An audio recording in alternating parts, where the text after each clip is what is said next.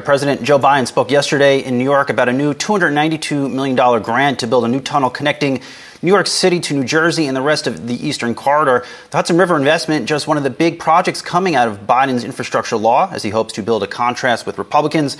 Another part of that spending package announced today, with the Department of Transportation announcing 800 million in grants for new projects around the U.S. Here to talk about that is U.S. Transportation Secretary Pete Buttigieg. Mr. Secretary, always nice to hear from you here. A lot of money uh, in this latest plan. Where will it be going, and, and what do you hope to achieve?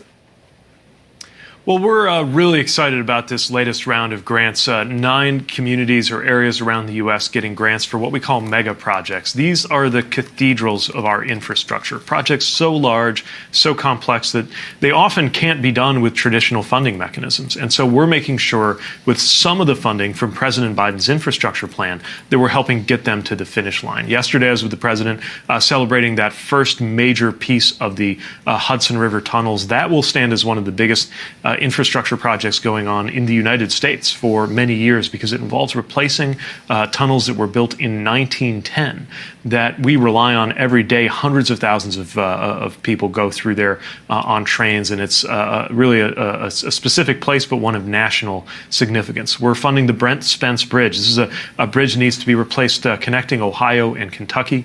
Uh, and the president was there with uh, Mitch McConnell, signaling the bipartisan support uh, for this kind of work, announcing that project recently as well. Uh, we, have got, uh, again, nine projects that are part of that fund, and hundreds of places around the community that we're announcing today are getting grants to make their roads and streets safer. Uh, all part of the president's infrastructure package, and really think shows you what it looks like as we get out of that early phase of just getting the, this bill passed and uh, getting those programs set up, and now starting to move this funding out to communities, uh, to states, to transit agencies to get the work done. Mr. Secretary, it's Julie here. I don't know anybody who is happy about infrastructure as it exists in this country, right? A lot of people have gripes about whether it be their local roads, their airports, et cetera. Um, especially when you compare it with, say, other nations. How long is all of this going to take to sort of get us up to a better level? And then what kind of economic growth is that going to unlock once we are there? Well, the hard truth is that we have, excuse me, we have a backlog that has built up over decades. But the good news is we have changed the trajectory of infrastructure in the U.S. Instead of each passing year hearing Washington talk about a so-called infrastructure week without any results and uh, watching that that hole get deeper, that backlog get longer, we're now moving in the opposite direction. This is the most funding we've put into roads and bridges since the interstate highway system was created in the first place. This is the most we've done for trains since Amtrak was stood up 50 years ago, and it's going to make a huge difference. Now, before you even see the first ribbon cuttings and the first projects completed, what you're going to see is the first hard hats and the first families' lives that are changing in the form of the workers who are working on this. The Hudson alone uh, expected to uh, ultimately involve some 70,000 jobs. And as we, we look at the uh, projects across the country, they're creating good paying jobs. It's really a pipeline of good paying construction jobs. Jobs, by the way, that you can do uh, whether you have a college degree or not. They take a lot of apprenticeship training, but uh, we're talking about money that, that you can uh, uh, you can build a family and raise a family on. And uh, you know it's it's a big focus of the president building up that middle class, and we're we're just thrilled about what is going to be possible in the near term, and then eventually in the long term, of course, the millions and millions millions and millions of American jobs that will be supported by having that better infrastructure, the better airport, the better tunnel, the better bridge, the better train, so that we can all get to where we're going. You said the better airport. These are, uh, of course, no doubt significant investments, significant grants moving forward. But when we think about aviation and what we just saw over the course of the holiday season and what your department has initiated in terms of investigations and where some of the pitfalls actually took place. What have you been able to take away from some of those early investigations? And what type of dollar figure could we see invested in making sure that the FAA has the tools, the software that it needs to act and be uh, a more modern operation? Well, in, short, we've made a lot of progress and we've got a long way to go. Uh, last year, we toughened consumer protection standards, uh, make sure that airlines treat passengers better. We got written commitments that we can enforce, uh, in, including with, with penalties. And that served us well when the Southwest debacle happened because it meant that we could not just urge them, but require them to make good on commitments around things like covering hotel and meal expenses, rental cars, and, and flights for passengers who got stranded. We got more work to do on passenger protection, and I'm excited about some of the things we have in the works for this year. Then you have the systems side.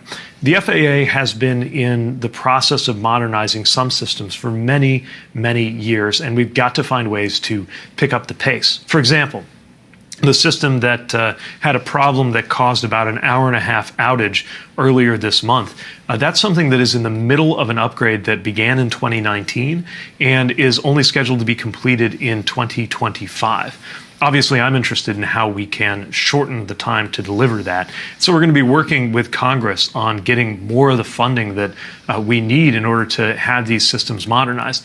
Think about the challenge of replacing the backbone of a system that you can't ever turn off, right? The air traffic control system has to be running 24 by 7 by 365. You can't just, uh, you know, close it down for the weekend and, and use that to, to reboot everything.